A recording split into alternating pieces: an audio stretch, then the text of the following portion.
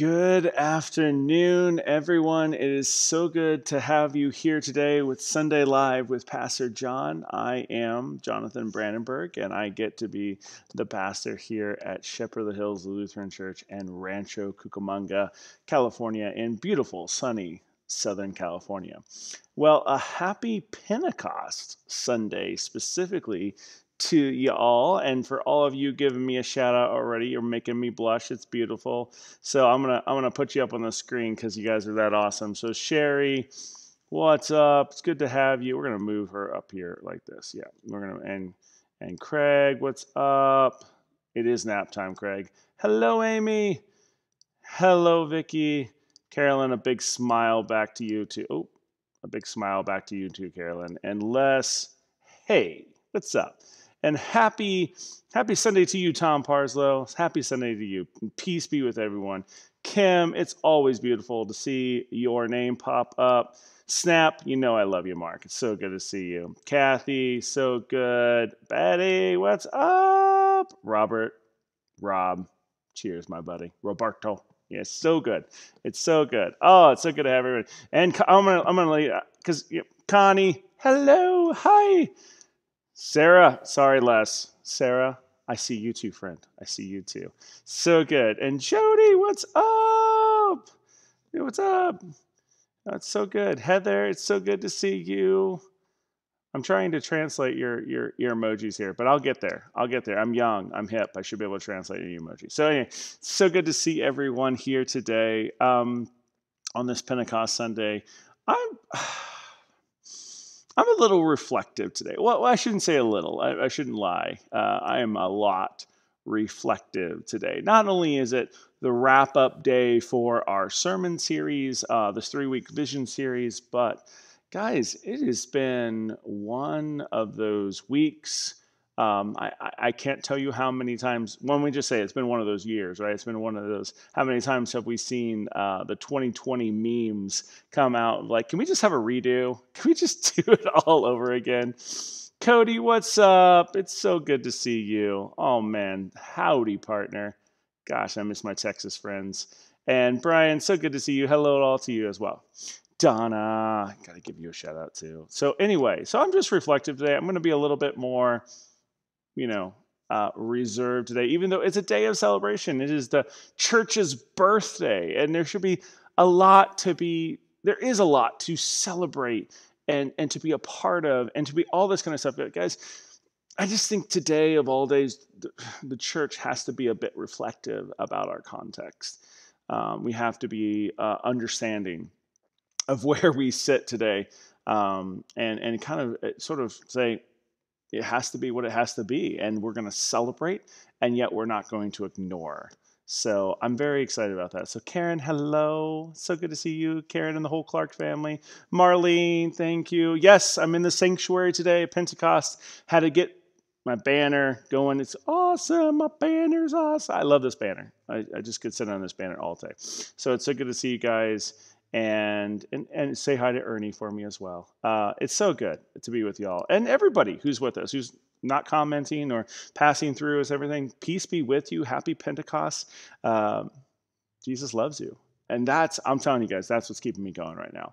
Is that somewhere in all of this dialogue and, and conversations uh, and all of this pandemic and all of this uh, and all this pandemonium and all of the racism and the riots and all of the protests and the proclamations and the podcasts and everything that's sort of been absorbing these last few days, these last few weeks, these last few months, um, that grace of God is there. And it's central and it's good. And this grace of God is comforting and beautiful and good, but it's also like we celebrate on Pentecost, like we're going to talk about. It is also this thing that just breathes new wind and new fire and new change into our world that, frankly, is hard to embrace. That this is the gospel uh, that does this. Not only comforts us and make, reminds us that we're loved, but it also does this change in us as well and change in our world. So um, we're gonna we're gonna focus on that a little later. But before we get started, uh, I don't know about you, I need music, um, and Nathaniel has put together two songs for us. Um, and so uh, the first one is like one of a childhood favorites of mine. And it is. It's kind of a kid song, if you will, but it's so, so good. And we need to be reminded that we are all children of the Heavenly Father, not just a select few of us get that right, but we are all children of the Heavenly Father. So that is the song we're going to put up first today. Get our hearts and our minds going. I'm going to open us up, us up in the invocation and an opening prayer, and then we're going to go right into that song because I don't know about you, but I need it. So let us open up in the name of the Father and of the Son and the Holy Spirit. Amen. Now let us pray. Heavenly Father, thank you for today. All of it. We thank you for the challenges we thank you for the things that we don't want to see or don't want to hear about or we are sick of hearing about. And yet, Father, we thank you. We thank you that it's here. We thank you that you are guiding us through everything, that you are guiding your children through all of this by your grace, by your strength, by your love, by your wisdom. So, Father, continue to guide us through that. Continue to lead us, your daughters and your sons, in this very confusing time to back to your word, to back to your grace, to back to your spirit that blows fresh wind and fresh fire in our worlds today, Father. Blow that fresh wind and that fresh fire into our worlds that come from you. In Jesus' name we pray. Amen. All right, here is our own Nathaniel Hoffman presenting Children of the Heavenly Father. Enjoy, my friends.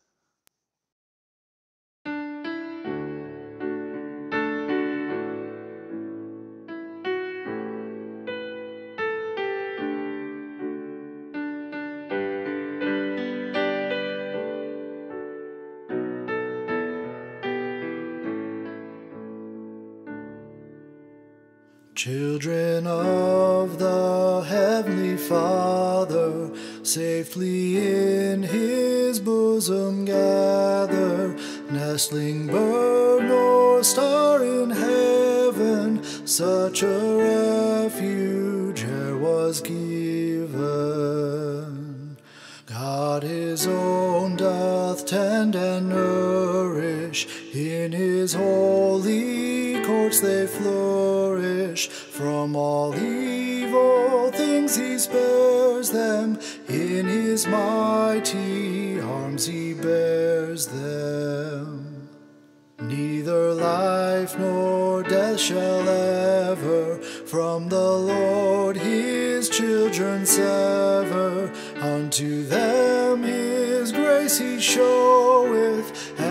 And their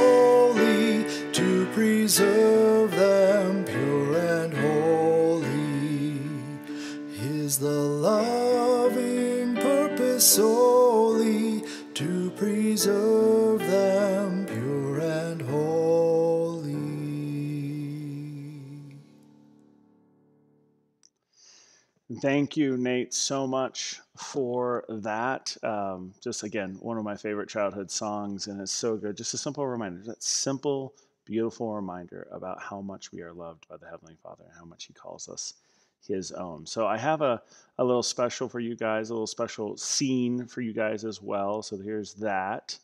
That is what's waiting for us here a little bit later. Um, uh, this is uh, a sort of a view of our stained glass window and uh, one of our Christ the King candles, and there is communion. And we are going to be celebrating a time of virtual communion because just like when Maundy Thursday was here, I just could not let it pass um, to, and not celebrate communion. And so here is Pentecost, and we need communion time together. And uh, I know there's a little bit of dialogue and discussion about that and how people feel about it. And it's going to be completely optional at the very end, but I just want to let you know that is that is on its way. And also, what's on its way is in-person communion, in-person time of worship is in the works. Um, I was hoping maybe we could do something uh, today, and that just didn't happen. So um, I apologize about about that. Well, I don't really apologize. I was hopeful. I was just hopeful. So, um, but anyway, so that is coming. You're going to hear more about that this week, and I'll make more announcement about that at the end. But here we are. Uh, in Pentecost, so we have to read, not have to read, but we should read the Pentecost story of Acts 2. So we are going to read today Acts 2, 1 through 21. Acts 2, 1 through 21. And I'm, of course, reading in the old Pew Edition, ESV Standard, you know, all this kind of stuff. Bust out your Bible apps, bust out the message that you love or the Good News Bible, bust out the New Living Translation. I heard that this this uh, last week. Uh, bust out that old big old KJV, King James Version that you never ever use except for special occasions. Bust it out. Anything you got. So we're going to do Acts 2 uh, 1 through 21. So Acts 2, 1 through 21. And I'm going to read from the ESV, English Standard Version. Here we go. When the day of Pentecost arrived, they were all together in one place. And suddenly there came from heaven a sound like a mighty rushing wind, and it filled the entire house where they were sitting and divided tongues as of fire appeared to them and rested on each of them, and they were all filled with the Holy Spirit, and began to speak in other tongues as the Spirit gave them utterance. Now there were dwelling in Jer- now there were dwelling in Jerusalem Jews, devout men from every nation under heaven. And at the sound, the multitude came together, and they were bewildered, because each one was hearing them speak in his own language. And they were amazed and astonished, saying, Are not all these who are speaking Galileans? And how is it that we hear, each of us, in our own native language? And here comes the list that every reader of every church has always been like, Oh, why did I get this reading, right? But here's the list. All right, Parthians and Medes and Elamites and residents of Mesopotamia, Judea and Cappadocia, Pontus and Asia, Phrygia and Pamphylia and Egypt and parts of Libya belonging to Cyrene, and visitors from Rome, both Jews and proselytes, Cretans and Arabians. We hear them telling them in our own tongues the mighty works of God. And all were amazed and perplexed, saying to one another, What? Does this mean? But others mocking, but others mocking said, They are filled with new wine. But Peter, standing with the eleven, lifted up his voice and addressed them Men of Judea and all who dwell in Jerusalem, let this be known to you, and give ear to my words, for these people are not drunk, as you suppose, since it is only the third hour of the day. But this is what was uttered through the prophet Joel. And in the last days it shall be, God declares, that I will pour out my spirit on all flesh, and your sons and your daughters shall prophesy, and your young men shall see visions, and your old men shall dream dreams. even on my male servants and female servants. In those days I will pour out my spirit, and they will prophesy. And I will show wonders in the heavens above and signs on the earth below blood and fire and vapor of smoke. The sun shall be turned to darkness and the moon to blood before the day of the Lord comes, the great and magnificent day. And it shall come to pass that everyone who calls upon the name of the Lord shall be saved. This is certainly the word of the Lord. Thanks be to God. So that's Acts chapter 2, 1 through 21 in the ESV, my friends. All right, let's get into this. There's a lot to say, and I'm not going to say enough. I'll tell you that right now. There is a lot to say about this text and about what's going on here, and I'm sure some of you have already heard a sermon or two, or a thought, or a devotional, or something about uh, this whole concept of Pentecost. And there's and, and i'm not going to be able to say it all right? And so what here's what i'm going to do. This is our third and final week of our vision series. We've been talking about loved and sent. The first week we talked about how much we are loved and the and we are here in the presence of acts 16 and then last week we talked about zebra kisses and going to the market and being immersed in the ideas of the world but bringing the gospel to bear on those ideas. But it's going to be hard and it's going to be different. We're going to get those we're going to get those kisses. That don't feel like kisses. They feel slobbery and wet and uncomfortable and weird. And yet, that is the moment the gospel is the most important. That is the moment where love needs to be expressed in the most obvious way. And so we get all this stuff, and we so we got all this stuff. And so today we wrap those things together. How are we both loved and sent? How does all this work? And there was a mantra when I started talking with uh, with the the leadership, especially the board of directors uh, uh, of, of, our church, uh, there was sort of a mantra that I kept saying over and over again: "The frame is the frame," because the idea rotated around basically four concepts. The loved concept really birthed out the whole idea: how do we take care of how do we take care of God's people? What does it mean to be family here and now in this church? And then structurally, how do we take care of the house, the gathering place that the Lord gathers his people at. So that was sort of two parts of that frame or two prongs of that frame. And then last week we talked about the neighbors of our world, how it's not always going to be easy, not, but we, we, we are sent to them. We are loved, and so we love. We are comforted, so we comfort. And that's how that's how that works. And so sent to the neighbors of our world. Now, the final part of that frame is how do we lay holy stones for going into the future? How do we how do we put down what we believe is going to be the next generation or two or three's sort of path? And they're going to modify it and they're going to change it and they're going to do things. But here's our best way to set them up for gospel success kingdom success Here's the best way that we are, are laying our holy foundation on Christ and how he's bringing us into our context to be both loved and sent to do the basics well so we can go forward into a 21st century, not go backwards, not try to recreate something from the 20th or 19th or 16th or first century. We are going forwards with God into the 21st century and say, how do we lay holy foundation or holy stones? On that on Jesus. What does that look like? What does that feel like? And so that's the frame.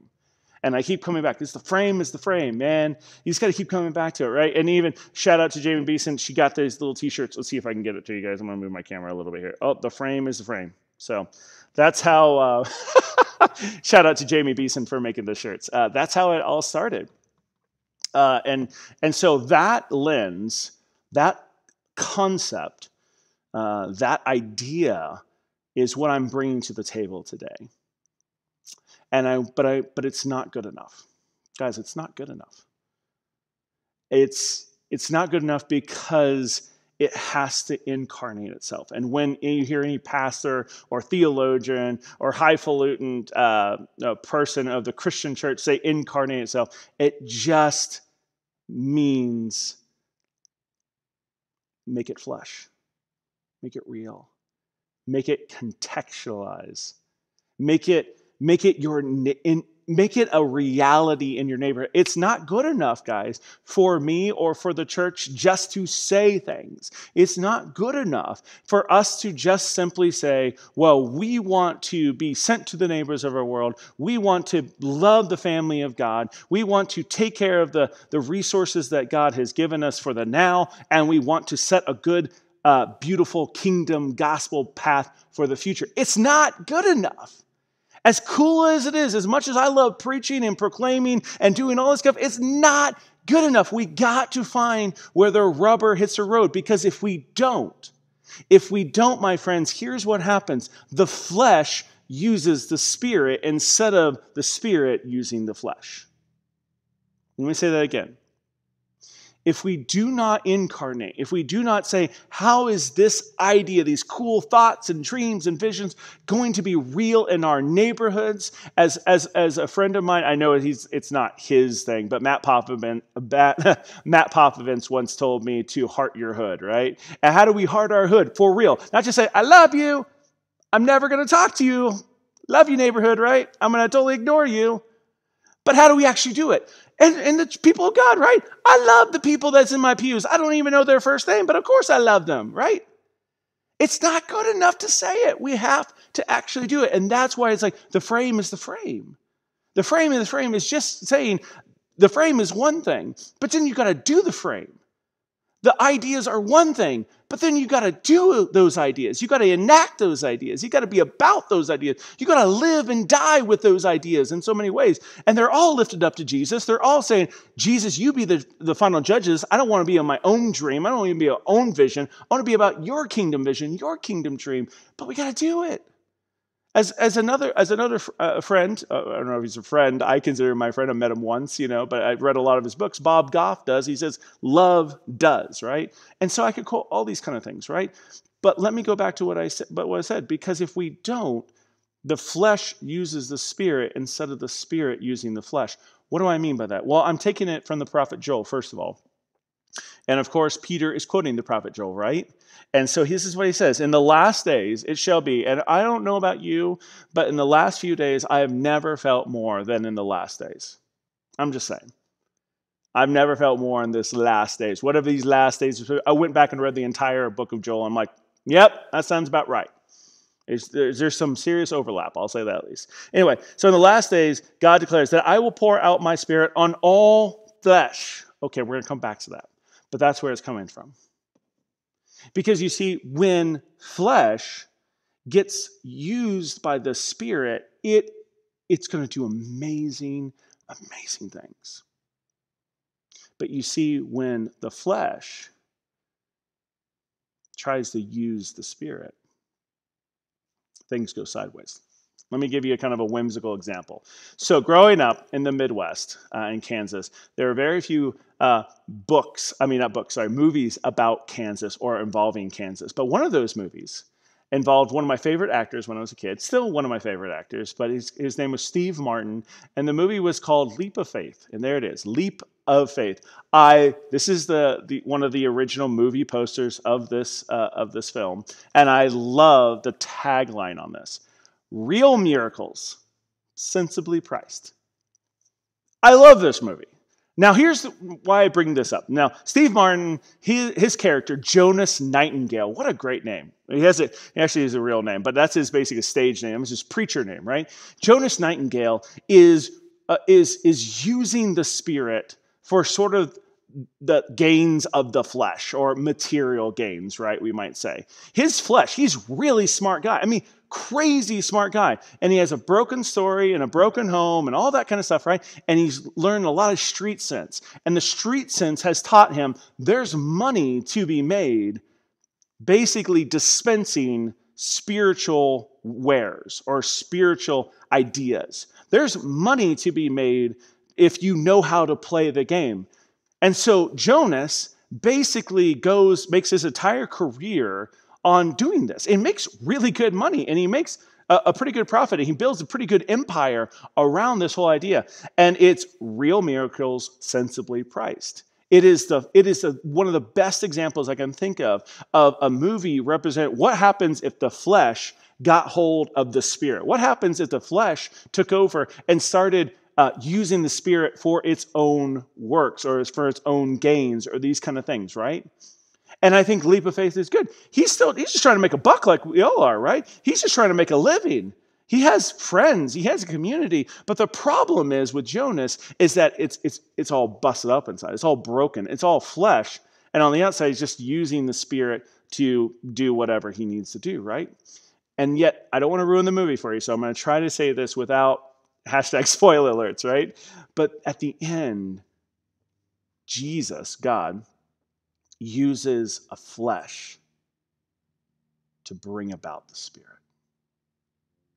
Uses a flesh moment, a real miracle, not the miracles Jonas is talking about, a real miracle, a flesh moment to say, no, no, no, the Spirit is in charge. And this changes Jonas. This messes Jonas up big time. And it messes some of his friends up big time as well.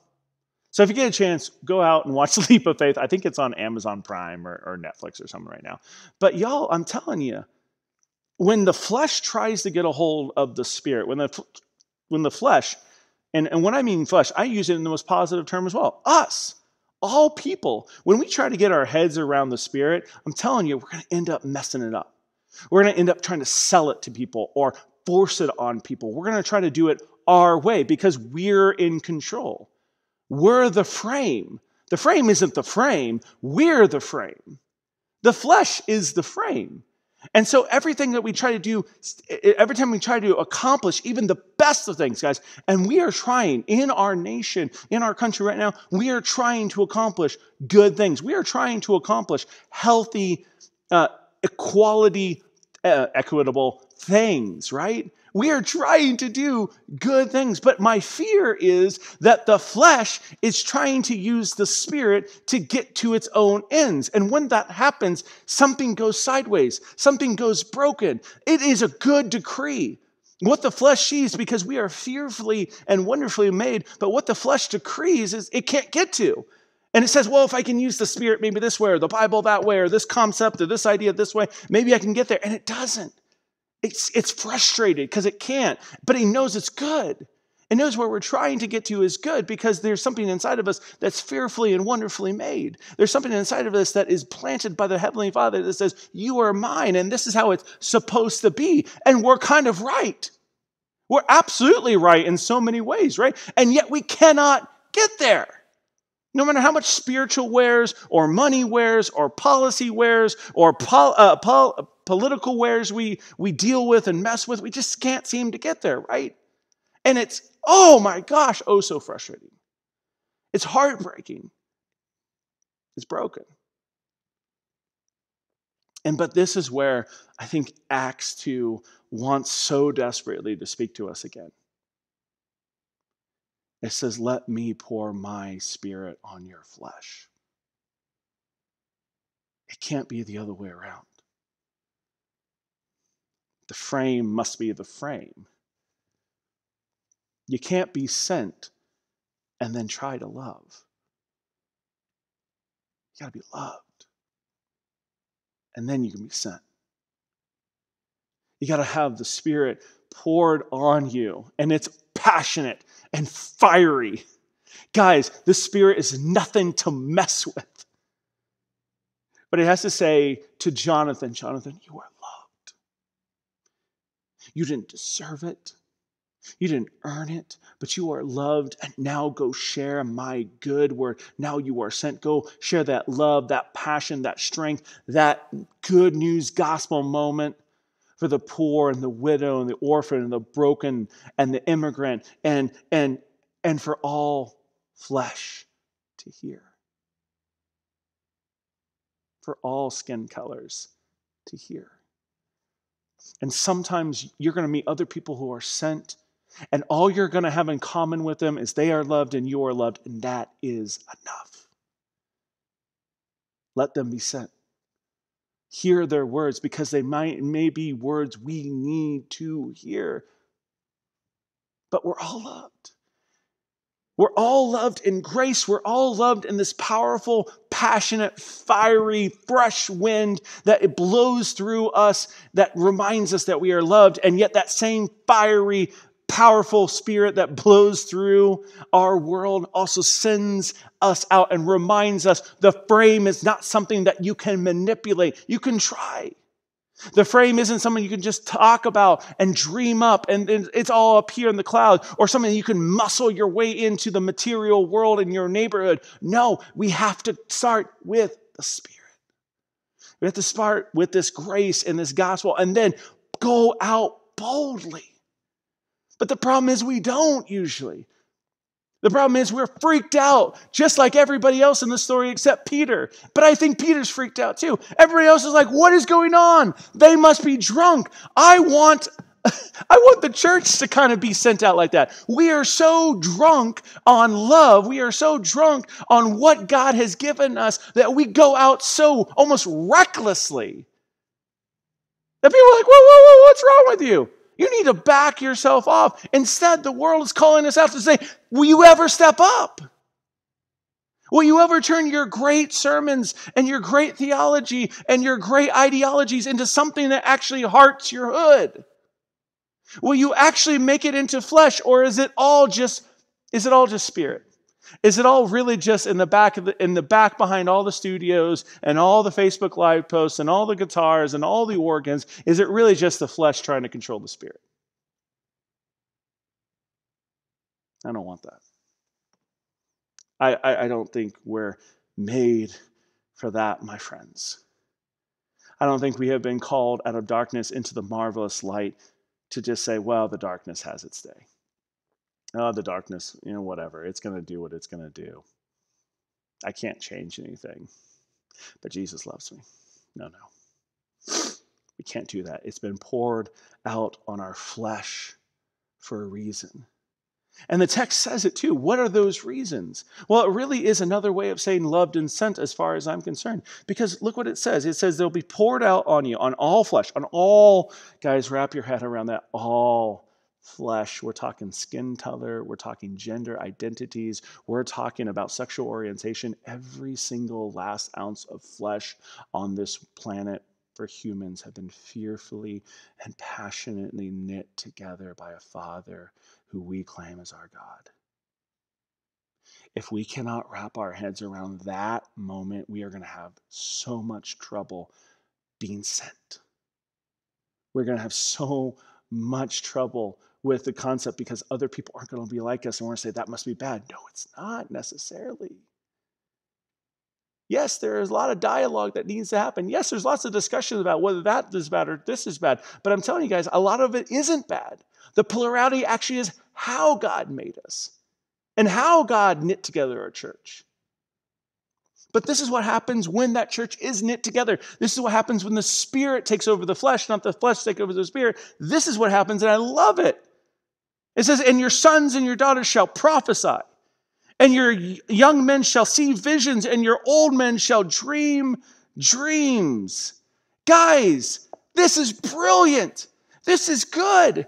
This is about laying holy stones for the future. Who's the ones that are prophesying? Who are the ones that are saying, This is the word of the Lord, and it's new and it's fresh, but it's really renewed. And it's really brought back from an ancient world, made new for the context. Who are they? They're sons and daughters. Guys, it's the sons and the daughters that are doing it. It's the young folk. They are dreaming, uh, they are seeing, uh, uh they are telling us something that we have to hear. Even for me, I'm considered young in my world. No, no, no, no. I need to listen to the 29 year old and the 19 year old. There was a guy named Mike Newman when I was just 30, and he was 50 and he had a position of power and all this kind of stuff. And he looked over at me and I was a mess, y'all. And he said, What are you dreaming about? What do I need to hear from you, Jon? I'm like, What? You don't need to hear nothing from me. I'm 20 years you're, you're younger than you, and you have it all figured out, and I don't. And yet he said, What do I need to hear from you? He allowed me to prophesy. Do we allow our young people to prophesy into our world? When the Spirit takes over the flesh, that seems to happen. And then you go down the next, and the young men, I, I would even say women in there, but I'm just going to say young women, will see visions. And I love this concept of visions because visions are revelatory. Dreams, we'll get to that next. Dreams are, are something that we, we kind of deal with, right? But, and we kind of understand for the most part, but visions are revelatory. Visions are what comes out of nowhere and say, I did not see that coming. I could not have seen that coming. And it says the young people not only will prophesy to us, not only will, will say something we need to hear that is from the Lord, but then they'll see something they'll see something revelatory that we won't naturally see. And that's so, so hard because we are built to say, we are older, we are wiser, we've seen more of the life than you have. How dare you try to say something to us? This is the way it's always been. This is the way it should be. And Pentecost breaks into that. When the Spirit pours onto the flesh, Pentecost breaks that. And it's so hard. It's so difficult for us to let go say, maybe God is doing something fresh and new that is off the charts, because that's what revelatory, that's what a vision is. It's off my charts. I couldn't have seen it naturally. And then the final, the final straw, which I love, is is is so good. It says the old men, and I'll say just old people. it's old people, and your old men will dream dreams, guys. How many? I'm gonna I'm gonna put my myself. I know I'm only 39 years old, but I'm gonna put myself in this category for two seconds. I'm gonna say I'm an old codger, and I am so cynical. Guys, I got a I got a problem with cynicism. I am so scared to dream anymore. I am so scared to vision anymore because I've seen dreams and I've seen visions. Uh, let's talk about dreams. I've seen dreams not turn out the way I want them to. I've seen dreams crumble before my very eyes, and I'm 39 year old. All you 50 somethings, 40 somethings, 60 somethings, 80 somethings, how many dreams have you seen crumble before your eyes? I mean, big, beautiful dreams just be destroyed by the brokenness, sinfulness, hurt, pain of this world. And yet, because of Pentecost, yet because when, fle- when flesh is taken over by the Spirit, you are given the grace and the joy and the beauty to dream again. Somewhere in all of the sarcasm or the bitterness or the disenfranchisement or the disillusionment, we're given a sanctuary of space to Say, it's okay, son, daughter of the living God. You can dream again. This is Pentecost. This is where things change. And guys, Pentecost doesn't, it's not a one time event. Every day, what does it say? Grace is new every single day. Every day we wake up with the Spirit blowing into us. Can we hear it? Can we experience? Not every day is going to be revelatory. Not every day you're going to want to dream. Not every day you're going to have some punk young kid come up and tell you something, eh, something just profound and beautiful that's based in the Holy Spirit. Not every day, but there are days. And I'm telling you guys, everything that's going around me right now has taught me I need to listen. I need to listen now more than ever, not to my flesh, as cool as it is. It's fearfully and wonderfully made by God. Come on, check out the beard. It's going great, right? I'm smart. I just got a. I just heard that uh, this week that I'm finished with my doctorate. I'm Dr. Brandenburg now. I'm a smart guy. I have a doctor in front of me, right? I need to listen to the Spirit more now than ever. I need we need, the church needs, any follower of Christ so desperately needs to listen again to the fresh wind and the fierce fire that blows through our Pentecostal belief. Our belief that our God not only loves us, that He sent His only begotten Son to die for us, therefore we are saved, but then bring that salvation to the flesh. Bring that good news and that good word to our families and our neighborhoods, to our churches in the present and how we are marching forward into the future. That we need to make the frame the frame again and let the Spirit pour out all the fleshy stuff that's happening for us so we can engage, so we can be real, so we can be the humans that God has made us to be in this present moment. Let that happen, my friends. I say it to myself every day let that happen. Jon, just let the Spirit take over. Let it pour out on your flesh instead of your flesh trying to control what the Spirit's about. That's my prayer today, my friends. That's my big vision, if you will. Some punk 39 year old in a t shirt in the sanctuary with candles behind him and some palm branches and all this crazy studio. I'll show, a, I'll show a picture of this crazy studio that I got over here that you, don't, you guys never see. You know, all of this, man, I'm just saying that's the vision. That's what I want Shepherd of the Hills to be about, y'all. I just want, I want every church to be about, but not just, that's what we need to be. I rarely say that because it's dangerous.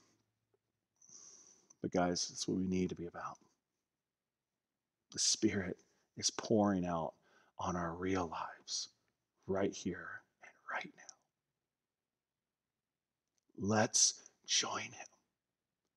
Let's prophesy, dream dreams, and hear the visions anew so that we that we, the people of God, can participate in what God is doing in the middle of all the chaos, in the middle of all the tragedy, in the middle of the hurt and the pain, that we can participate not only to say, Yeah, we feel your pain, but we are going to join you in joy. We're going to join you in saying the frame is the frame, and we are loved, and we are sent, and we are here. We're with you. Let's do this together in the Spirit. Let's the Spirit pour out on all flesh once again. Amen. I wish there was like a commercial break or something after this because after I get done with sermons, usually what happens is we'll we'll do something in the in the normal flow of the service, and I'll have a moment just go, all right, well, that was cool because half of the sermon I don't I don't write my sermons out ahead of time, and so many times I, I end up going, "Oh, I needed to hear that."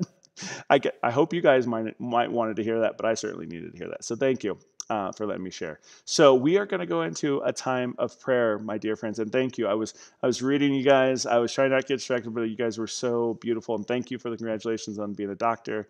Uh, thank you for everyone. I'm going to send a formal thing out of thank you, uh, both on social media and our usual email thing, but. You guys are awesome. So what do you need to pray about? Besides, oh wow, just what do we need to pray? About? I'm not going to say besides. We need to open this up. What do we need to pray about? I I, I will say I have a special prayer that I will pray for the um, for the protests, for the riots, for the whatever we want to call it anymore, guys. I don't even know what to call it. Um, it's a lot of hurt but it's also a lot of good stuff we need to hear as well. And as my father-in-law told me today, how do you what happens when your pain intersects with another person's pain and yet they seem diametrically opposed? What happens when that happens? And I think that's happening in, in, in some ways here. There's a lot of prophecy, frankly, that we need to hear in this. There's a lot of other things that we, we, we may you know need to ignore or you know whatever. But what do we need to pray about, guys? PJ to DJ, yeah. PJ to DJ. I thought about that. I actually talked to uh, I talked to a friend today about about that uh, via email. It's like maybe I should switch it to DJ. That just doesn't that doesn't sound right. Dr. J. No, no, um, I can't play basketball. Yes, we are definitely going to pray for. It. Let's get this going. Hurting people. Yes. What else do we need to pray about here, my friends? Oh, Jody, awesome. Yes, ears to hear.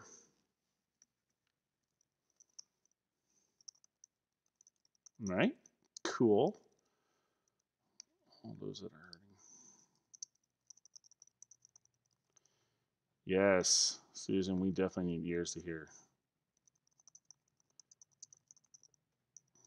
And Jody, yes, I'm going to put that in the Thanksgiving. starting new Bible study. Okay. Oh, amen to that, Susan. Hands that help. We're going to. Hands that help and not hurt. Oh. Yes. Yes, yes, absolutely. We're going to pray for our nation and for the Spirit to blow through. Oh, man. And there's a lot of layers in that prayer right there. Oh, yes, absolutely. Um, Connie, I'm going to put that actually on the, the thankful for re, for reopening, but wisdom. Very cool. Vicky, absolutely. We'll pray for that. Absolutely, Vicky.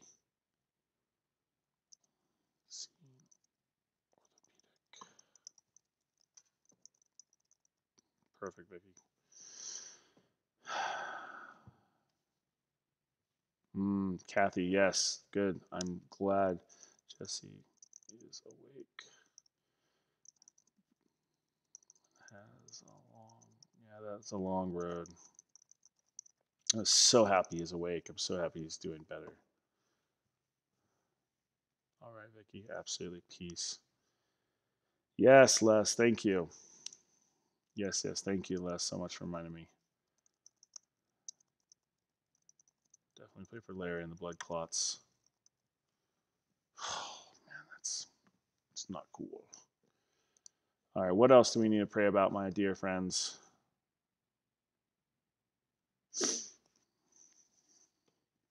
Even if we prayed about it 16 times, it's still worth praying about it again.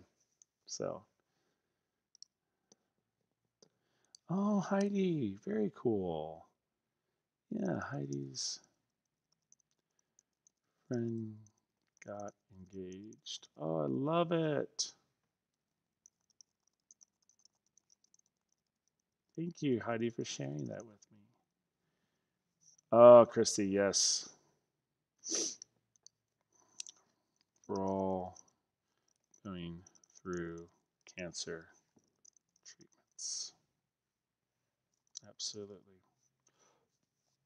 Oh, thank you, Vicky. Thank you so much for saying that.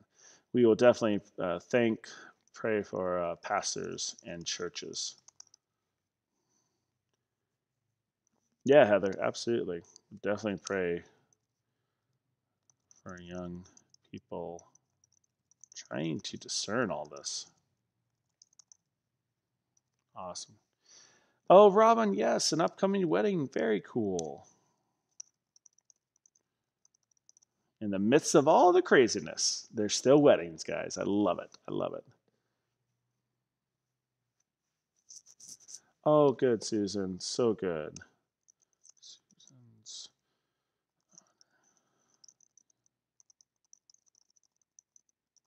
That's beautiful. That is so good. All right, what else do we need to pray about, y'all? What else do we need to go over? Anything else, guys? Oh, I guess gotta get up for a second.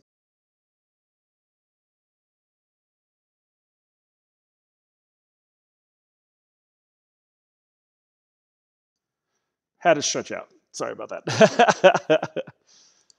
All right. Oh, Connie, thanks. Oh, it's so good.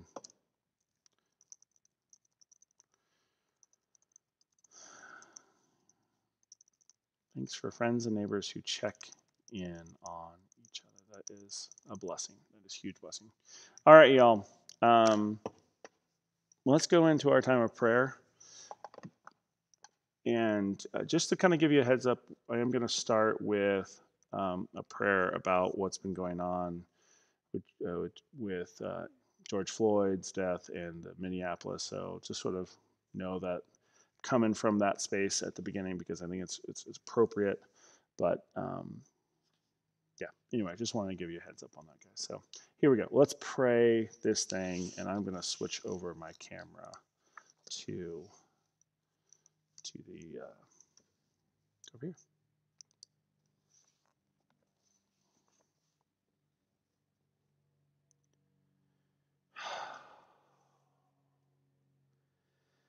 Father, we breathe in and we breathe out. With all that's going on, sometimes it's hard to breathe. Sometimes we even utter the phrase, I can't breathe. Father, these were the words, the final words of George Floyd.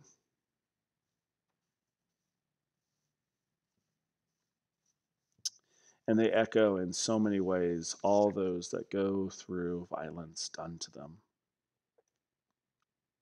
the hurt, the pain that is caused upon them for no seemingly good reason at all. And it reminds us of another little simple phrase that was uttered on a cross, oh, so many years ago. When our Lord just simply said, I thirst. Father, help us to hear these words anew. Help us to see the pain and the hurt of our neighbors, or our friends, of even those we consider our enemies, the suspect, the outsider. Father, because the more we separate from those around us, the more we do not see each other as fearfully and wonderfully made by you, we stifle our own breathing. We can't breathe anew the power of the Spirit because that same power is telling us they are loved, not just the us of our love uh, of our world, but they are loved those that are not part of our circle or of the way we think or vote or look or act or whatever, Father. But when we treat them as other, as we treat them as separate, as we do not see the neighbor as a loved person and worthy of love, we stifle our own breathing. The breath of the Spirit that flows in our lungs and our lives. Father, here today on Pentecost, let us breathe deeply of you, of how you see our neighbors, our nation. Let us breathe deeply of grace, of forgiveness, and of love. Let us breathe deeply the fact that there is a world over that is screaming out, crying out, pleading out, I cannot Father, from the breath that you put in our lungs, let us speak up for all our neighbors. Let us share with them from that breath a gospel message and a gospel action from that breath of the Spirit, help us to be the power for the powerless, the defense for the defenseless. And even if it costs us our last breath, let us stand and say, They are loved. No matter who they are, they are loved. They are my father's son or daughter. And so they are therefore my brother or my sister. Father, help us to breathe anew. Because in so many ways we can't breathe. We need your breath again. Father, as we go into a life that you have won for us. Keep the frame the frame. Pour out on us, on this flesh and this blood and this body and this life, your spirit and help lead us through, guide us through all the things that are going on in our worlds. Father, especially help those that are just hurting. Again, we pray and uplift for them. Father, we also pray for giving, uh, pray for ears to hear, ears to hear anew your prophetic word. No matter where that comes from, that we need to hear it. Father, we also pray that that hands, that our hands, that the church's hands, that any follower of Christ's hands are sent out to help and not to hurt, to bring healing and reconciliation and not more separation and division, Father. Father, we pray for our nation, these United States of America. So many good ideals, so many good thoughts, imaginations, and dreams that are held here in America. And yet, Father, so many times we try to do it by the flesh. We're broken, we're divided, we're disillusioned, or just flat out angry.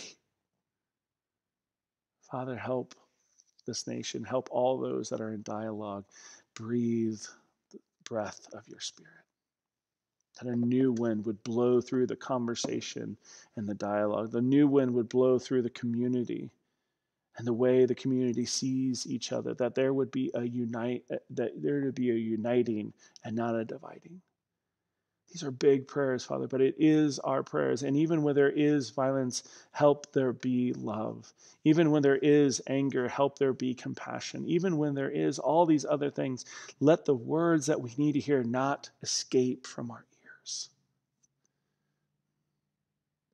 Father, we also pray for the individual concerns that weigh on our heart. We especially pray for Vicky, who is uh, seeing an orthopedic PA tomorrow, to just give her peace give her peace and kind of preparing for that and kind of being ready for that and, and what may happen tomorrow.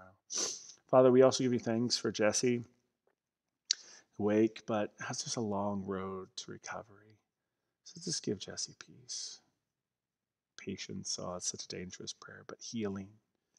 Remind him he's there. Remind him he is not alone, that you are there and you love him.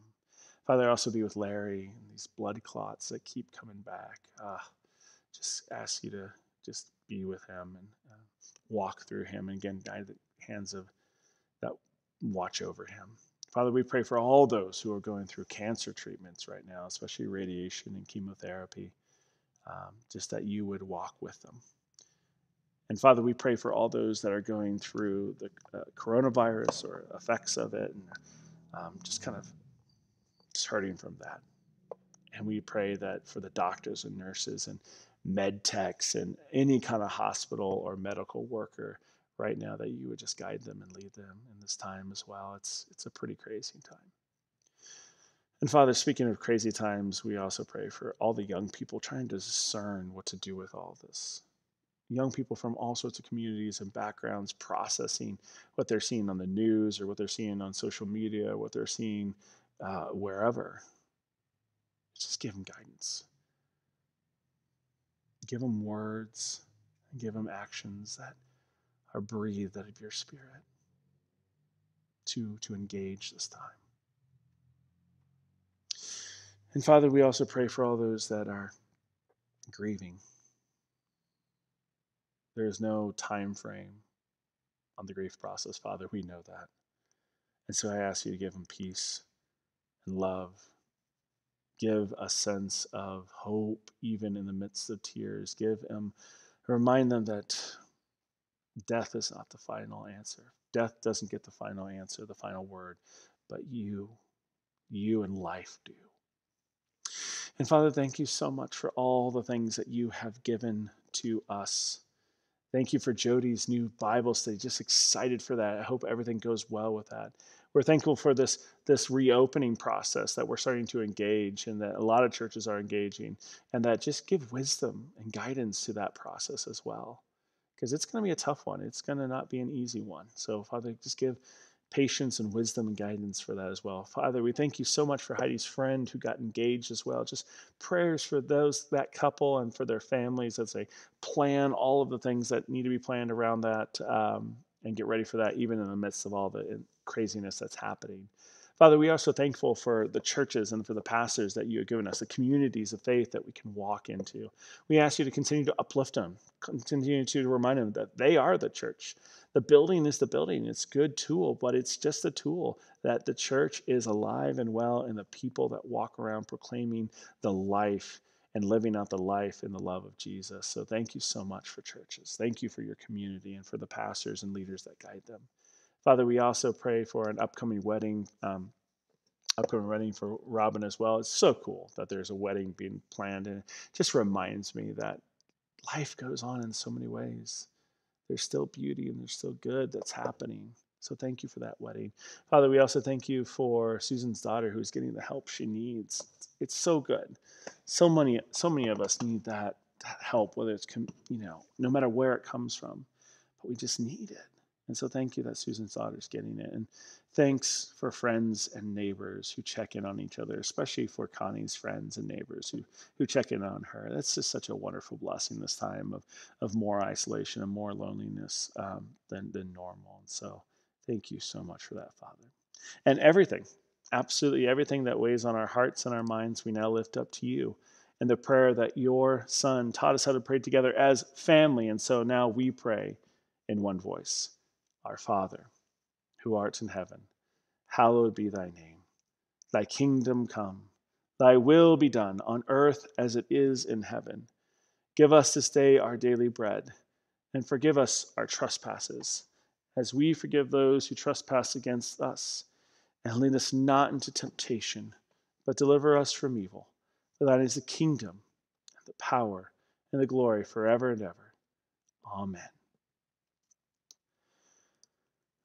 All right, y'all. Thank you so much for uh, joining us. And so, what's going to happen now is we are going to kind of close this out with a benediction. But then, um, if you'd like to stay around, we're going to have a com- time of communion. I'm just going to shift over here to the other camera. Uh, I can't see myself very well, so hopefully it will be good and it will be fine. Um, but uh, I'm going to shift myself over to the other camera. We'll have an optional virtual communion time, so um, stay tuned for that if you'd want to. And if not, blessings to your day. I hope it's beautiful. I cannot wait to see you guys in person, even though it will be in smaller huddles and all that kind of stuff. Again, all that reopening plan should be released uh, this week, or at least a sketch of it. I need to present it to the board this week and get it going. Um, it's a lot more uh, layered than I thought originally, so it's good. Um, but thank you uh, just for being here, guys. Thank you for praying with me and dialoguing with me and your wonderful encouragement comments. I so appreciate that. So, uh, if you're going to stay, if you're going to want to participate in virtual communion, just stay around here in a minute or two. If not, go with this blessing. May the Lord bless you and keep you. May the Lord, may, may the Lord bless you and keep you. May the Lord lift up his face upon you, his countenance upon you, and give you his peace always. Amen. All right, guys, I'll see you in just a second. I'm just going to play a song. Actually, I forgot. I'm going to play a song, and then I'm going to get back around over there. So here is uh, Nathaniel's uh, song. It is a beautiful, uh, actually Pentecost driven song, Holy Spirit Ever Dwelling. So here you go.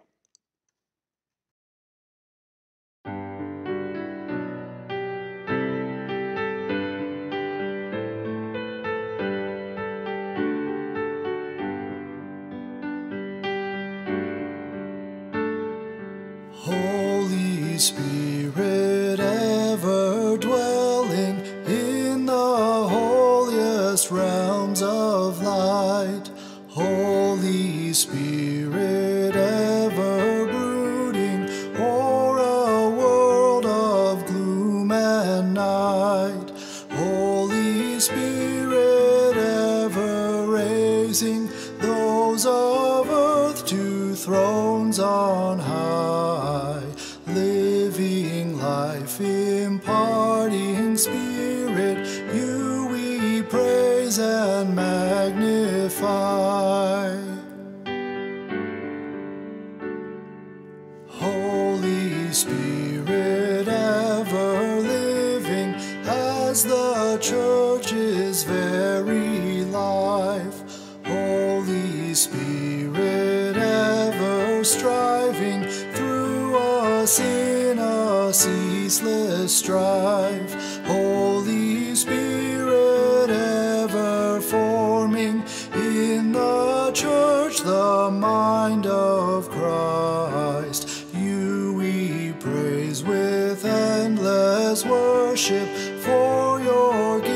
Gifts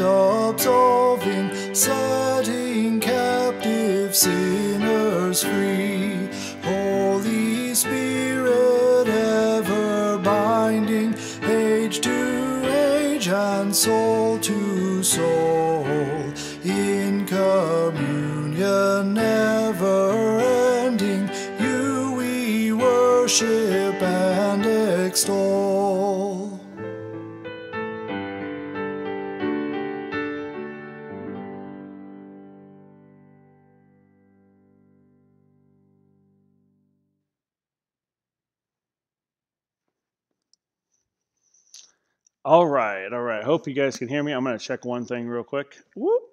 I got